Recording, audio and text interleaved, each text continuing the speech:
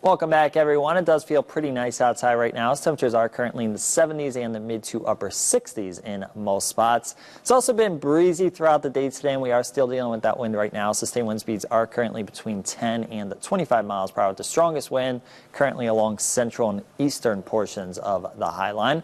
On the Opportunity Bank of Montana weather camera, we have had a mixture of sun and clouds throughout the day today, and a few showers have been working their way through the Helena Valley during the day today as well.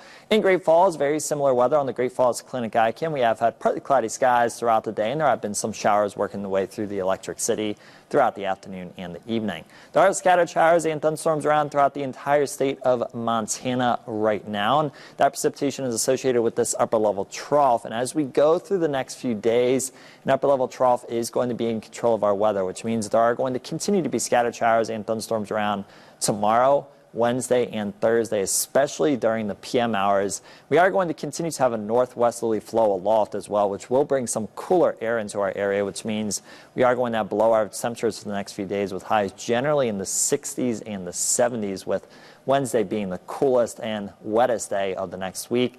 As we go through Independence Day, that upper level trough will work its way into the Great Plains, and that will allow this upper level ridge to start to build into our area as we head into Friday and this weekend.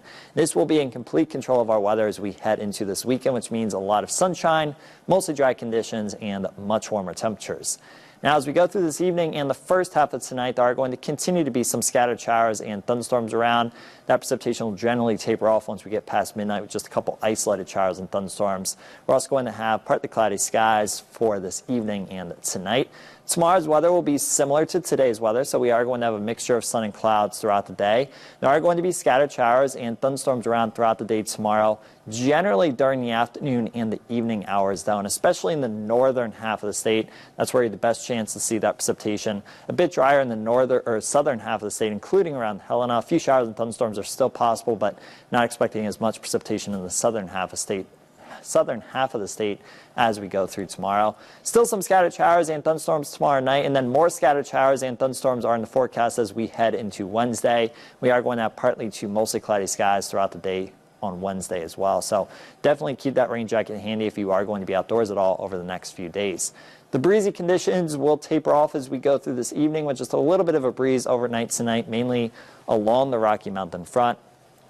For tomorrow, it is going to be a bit breezy, but the wind will be weaker than it was today. Sustained wind speeds are going to be between 10 and 20 miles per hour in most locations. Little to no wind as we head into tomorrow night, and then on Wednesday, we'll be a bit breezy once again with sustained wind speeds between